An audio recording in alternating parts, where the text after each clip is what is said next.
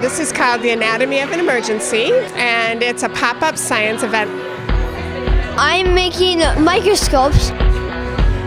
We also have a blood station over here. You can stick your hands in there, play around with the white blood cells, the red blood cells, the platelets.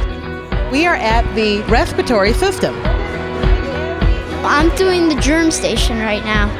They put hand sanitizer on and then they put glitter on their hands and then they touch around to represent how germs spread. What we're doing here is teaching people how to do CPR and how general citizens can help save lives.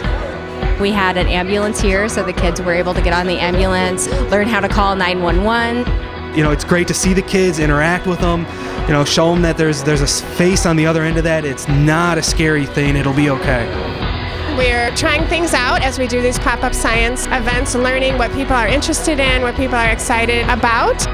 We got to learn about our lungs, we got to learn about germs, and we got to dress up as a firefighter. They've learned things about how the eye reacts to light. Uh, we just learned about robots. So, I mean, they're excited about this stuff for real. I like to do experiments and I like to show other people science.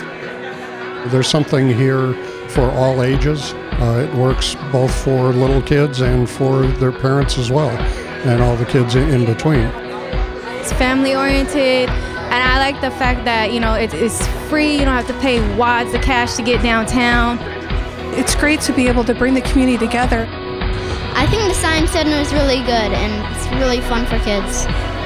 It's been wonderful to be able to help out and kind of get in on the ground floor of something that's amazing in our own community.